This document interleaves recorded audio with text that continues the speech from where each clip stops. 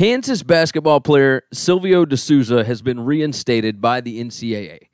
Uh, and I'm not going to pull up the official statement and whatnot, but basically he's eligible to play this coming season, which is great. I'm all for the kids.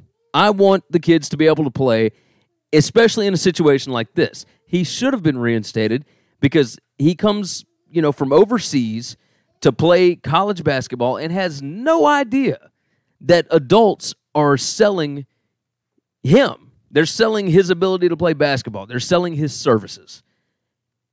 What I don't like is that the school that paid for him, the the people that were involved that paid whatever, did whatever they needed to to get him to go to Kansas, well, he's going to get to play at Kansas.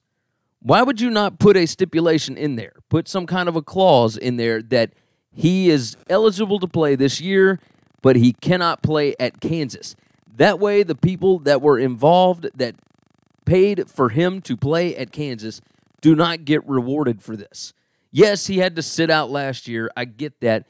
But this is still benefiting, right? If, I don't think I'm crazy on this. I think if you had made him transfer to any other, there's 353 Division One college basketball teams.